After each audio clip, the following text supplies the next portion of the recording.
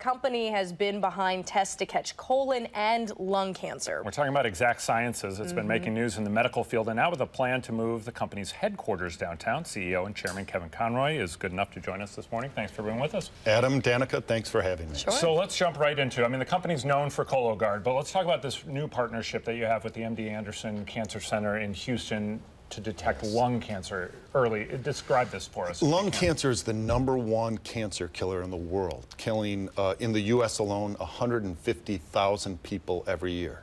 And uh, it's a disease that if detected early, mm -hmm. stage one, there's a 70 to 80% survival rate. Unfortunately, it's usually detected late, stage three or four, when the survival rate's as low as 2%. Hmm. So the goal here is with a simple blood test to be able to detect lung cancer in its early curable stage. Yeah. Uh, and do you find, I mean, it must be so great to hear from folks that you're actually helping out there too. Uh, do you have a favorite story or anybody? well, so we developed Cologuard, which is a right. colon cancer screening right. yeah. test. And just recently, uh, a gentleman who was positive with his Cologuard test and went in for a colonoscopy, they found an early stage one cancer. Easily took care of the problem, and he's a big tennis player. He sent me a tennis ball with his name on it, Steve Rubin. It's really um, gratifying to hear yeah. these stories of people whose lives are changed because of a simple test. Do you have people, I imagine you have people in the company, maybe yourself, who's been impacted by this, and you kind of look and see this yeah. is what we're, this is why we're doing this. Yeah, my father was detected uh, with a uh, late precancer that was a large precancer, just a step before cancer.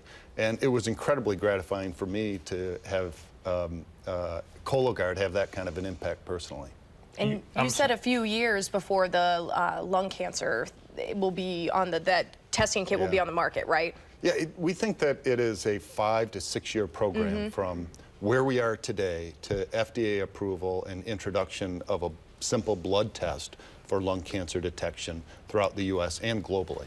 You have talked about moving your company's headquarters downtown Madison. Um, why is that, and to the Judge Doyle Square area, why is that so important for you? Well, that's something that we're working with the city on, and it's important for us to be in a location where uh, people want to be. And it's clear that younger people today want to work in an ur urban environment.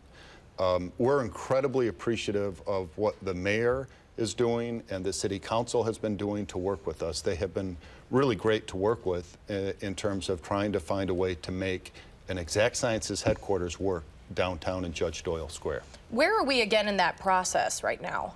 Well, it's a very expedited process, and uh, we're coming to the very tail end of it uh, as we're working through this with the city. So what comes next for the company? Mm -hmm. I mm-hmm. mean, it seems like there's a lot going on. You were telling us in, in the commercial break there are a couple of different cancers testing that you're working on as well. Yes, well, in fact, investors are coming into Madison this week on Thursday from all over the country, and we're talking about our pipeline of products, not only the lung cancer screening test, but we're also developing a uh, test for the early detection of pancreatic cancer, a, a serious uh, yeah. problem in yeah. the U.S., and esophageal cancer, two, two tests that we're working with the Mayo Clinic on developing. It's really exciting. It really is. Modern medicine, always. Kevin Conroy from Exact, Exact Sciences, thanks so much for being with us this morning. We appreciate it. Thank you, Adam. Thank you, Danica. Sure.